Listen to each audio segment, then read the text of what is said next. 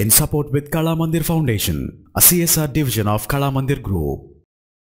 Microsoft సంస్థ Windows operating సిస్టమ్కి సంవత్సరానికి రెండు మేజర్ అప్డేట్స్ రిలీజ్ చేస్తూ ఉంటుంది సో అలాగా తాజాగా అక్టోబర్ రెండో తారీఖు అంటే నెక్స్ట్ వన్ వీక్ పీరియడ్లో మనకి లేటెస్ట్ వెర్షన్ అనేది రాబోతోంది.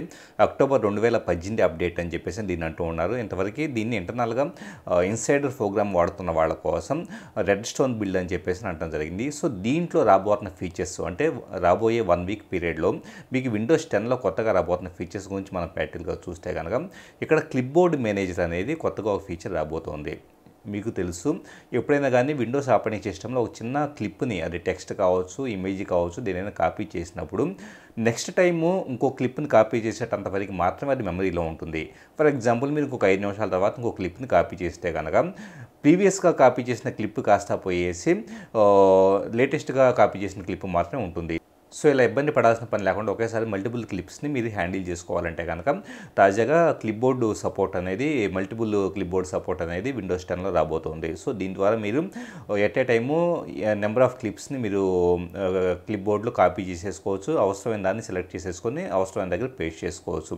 దీంతో పాటుగా విండోస్ ఎక్స్ప్లోరర్లో డార్క్ మోడ్ అనేది. ఫర్ ఎగ్జాంపుల్ ఇప్పటివరకు మీరు విండోస్ ఎక్స్ప్లోర్ ఓపెన్ చేస్తే కనుక వైట్ బ్యాక్గ్రౌండ్ మీద బ్లాక్ టెక్స్ట్ అనేది కనపడుతూ ఉంటుంది. అలా కాకుండా నైట్ టైం కావచ్చు లేకపోతే డిఫరెంట్ డిఫరెంట్ సినారియోస్లో మీకు ఐస్ మీద పెద్దగా స్ట్రెయిన్ పడకుండా డార్క్ మోడ్ అనేది పొందుపరచడం జరుగుతూ ఉంటుంది. అలాగే ఆండ్రాయిడ్ ఆపరేటింగ్ సిస్టమ్లో చాలామందికి సుపరిచితమైన స్విఫ్ట్ కీని మైక్రోసాఫ్ట్ సంస్థ కొన్నాళ్ళ క్రితం కొనుగోలు చేసిన విషయం తెలిసిందే. సో స్విఫ్ట్ కీ అనేది డిఫాల్ట్ కీబోర్డ్గా ఇక నుంచి విండోస్ టెన్లో ఉండబోతుంది. దాంట్లో ఆటో సజెషన్స్ రావడంతో పాటు ఎన్నో రకాల ఫీచర్స్ అనేది పొందుపరచడం జరుగుతుంది. అలాగే ఇప్పటివరకు విండోస్ డిఫెండర్ అని చెప్పేసి పిలువబడుతుంది. కాస్త ఇక నుంచి విండోస్ సెక్యూరిటీ అని చెప్పేసి పిలువబడుతూ ఉంటుంది.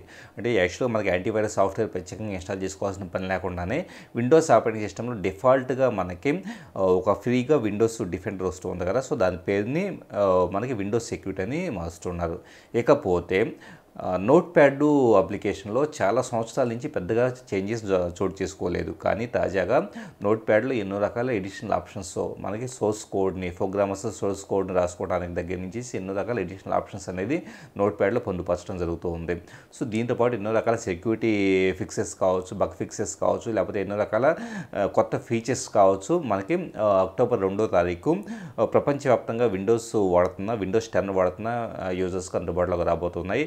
డెఫినెట్గా అంటే విండోస్ టెన్ లేటెస్ట్ అప్డేట్ వచ్చిన వెంటనే ఆలస్యం చేయకుండా ఇన్స్టాల్ చేసుకోండి. In support with Kalamandir foundation a CSR division of Kalamandir group